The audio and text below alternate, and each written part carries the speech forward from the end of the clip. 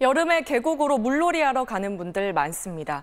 하지만 이렇게 평상에 앉고 물에 들어가기 위해서는 닭 한 마리에 20만 원 가치 터무니없는 돈을 줘야 이용할 수가 있습니다.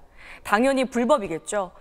아무리 단속을 하고 벌금을 물려도 버젓이 영업을 이어가고 있습니다.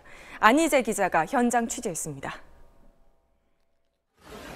경기도 양주의 한 계곡, 식당들이 점령하다시피 했습니다. 시원한 계곡물에 발 담그며 즐길 수 있는 평상 자리는 피서객들에게 인기입니다. 닭 한 마리에 최고 20만 원이나 하는데도 자리가 없을 정도입니다. 그런데 이런 계곡 식당은 대부분 무허가 불법입니다. 하천의 환경을 훼손할 수 있어 영업 허가를 내주지 않기 때문입니다. 경기도 포천의 또 다른 계곡, 식당 손님들 물놀이를 위해 아예 계곡물을 막아놨습니다. 설치한 거를 이용해서 물을 막는 것도 불법이에요. 경기도 특별사법경찰단이 최근 드론까지 동원해 불법 업소 70여 곳을 적발했습니다.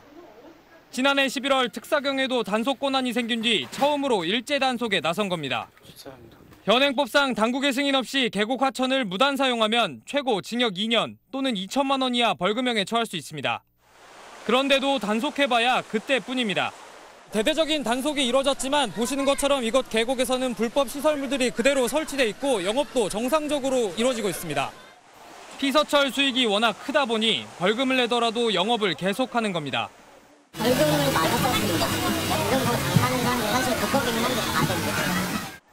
자연을 훼손하는 계곡 영업을 뿌리 뽑기 위해선 철저한 단속만큼이나 피서객 스스로 불법 업소는 찾지 않는 시민의식이 필요합니다. SBS 안희재입니다.